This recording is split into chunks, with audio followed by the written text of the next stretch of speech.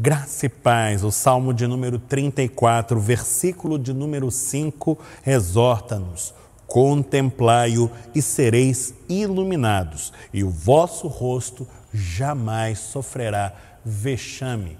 Desde a perspectiva das tradições de Israel, Deus é concebido como alguém que tem um rosto luminoso, uma face mais resplandecente que o sol. E em meio às trevas do engano que circundam o nosso viver neste mundo marcado pelo pecado e por toda a sorte de males, vem a nós esta exortação para que elevemos o olhar ao alto, para que voltemos voltemos as nossas atenções para Deus, para que sejamos então tocados pela Sua luz bendita, que vinda ao encontro das nossas vidas, há de clarificar os nossos caminhos, para que não incorramos em tropeço, em erro, em engano, para que não incorramos em mal algum, nem soframos qualquer tipo de vexame, mas pelo contrário, tenhamos caminhada segura, pois pautada no caminho